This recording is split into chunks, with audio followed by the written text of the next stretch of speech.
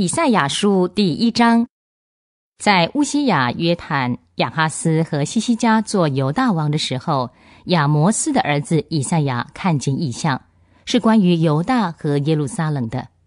诸天呐，要听；大地啊，要留心听，因为耶和华说：“我把孩子养育，使他们成长，他们却背叛了我。牛认识主人，驴认识主人的槽。”以色列却不认识我，我的子民不明白我。唉，犯罪的国，罪孽深重的子民，行恶的子孙，败坏的儿女，他们离弃了耶和华，藐视以色列的圣者，他们转离了他。你们为什么屡次悖逆，还要受责打吗？你们整个头都受了伤，整个心都发昏了。从脚掌到头顶，没有一处是完全的，尽是创伤、鞭痕和流血的伤口，没有洗干净伤口，没有包扎，也没有用膏油滋润。你们的土地荒凉，你们的城镇被火烧毁，你们的田地在你们面前给外族人侵吞，被外族人侵覆之后就荒凉了。仅存的西安居民，好像葡萄园中的草棚。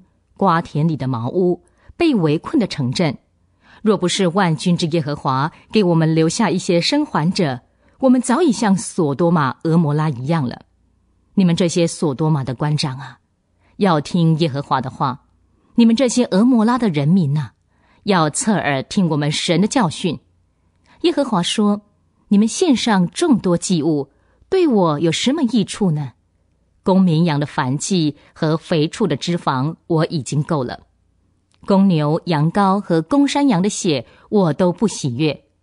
你们来朝见我的时候，谁要求你们这样践踏我的院子呢？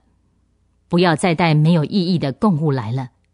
烧献祭物的香气也是我厌恶的。我厌烦月说安息日和集会，做罪孽又守严肃会是我不能容忍的。你们的月朔和制定的节期，我心里恨恶，他们都成了我的重担，我已承担的不耐烦了。所以你们张开双手的时候，我必眼眼不看你们；即使你们多多祷告，我也不听。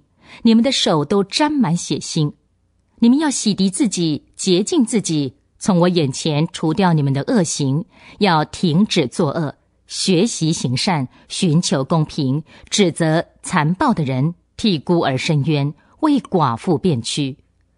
耶和华说：“你们来，我们彼此辩论。你们的罪虽像朱红，必变成雪白；虽红如丹颜，必白如羊毛。你们若愿意听从，就必得吃地上的美物；你们若不听从，反而悖逆，就必被刀剑吞灭。”这是耶和华亲口说的。那忠贞的城怎么会变成妓女？他从前充满公平，有公义居在其中，现在却有凶手居住。你的银子变成了渣子，你的酒用水掺混，你的官长存心悖逆，与盗贼同伙，人都贪爱贿赂，追索私仇。他们不替孤儿伸冤，寡妇的案件也呈不到他们面前。因此，主万军之耶和华以色列的大能者说：“唉，我要向我的对头血恨，向我的仇敌报复。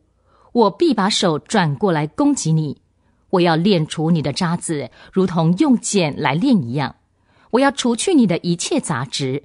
我必恢复你的审判官，像起初一样；也必恢复你的谋士，像起先一般。”以后你必成为公义的城，忠贞的城。西安必因公平蒙救赎，城中悔改的人也必因公义蒙救赎。但悖逆的和犯罪的必一同灭亡，离弃耶和华的也必灭亡。你们必因你们所喜爱的橡树暴溃，必因你们所选择的园子蒙羞，因为你们必像一棵叶子凋落的橡树，又如一个缺水的园子。有权势的必如马絮，他所做的好像火星，都要一同焚毁，没有人能扑灭。